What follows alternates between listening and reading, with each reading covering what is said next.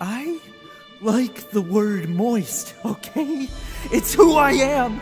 And if you can't accept that, then what's the point?